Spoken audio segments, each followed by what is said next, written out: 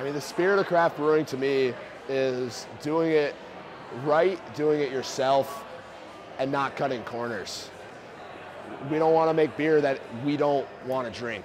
Uh, we don't want to make beer just because, and we don't, I mean, we don't want to put a beer out there just because we brewed it. We want to make sure that it's the best it can be.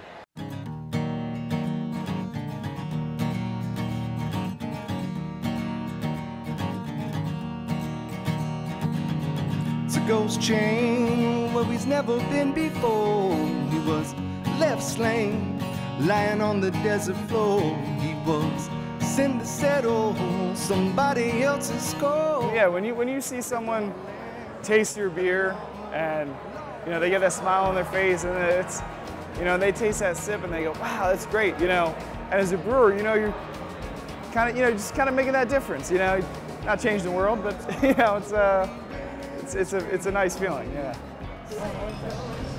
We're not trying to brew the craziest, most bitter beer out there, or the heaviest stout, or throw the funkiest ingredient in it. We want to brew beer which is traditional and to style, um, and is just clean, good, balanced beer. It's the process of learning and creating, and it's one of the few industries where you can be both artistic and creative and also a scientist at the same time. So.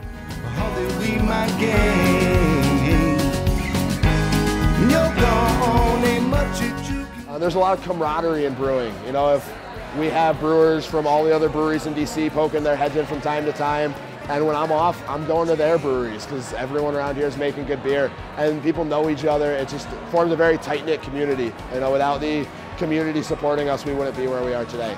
Um, we have regulars who are in here three or four days a week. You can count, you can set your watch by them, and then we also just have so many people will come out on Friday night, Saturday because there's great beer, we have food and great food and great music, and it's just a good place to catch up with people. You can hang out with friends and make some new ones.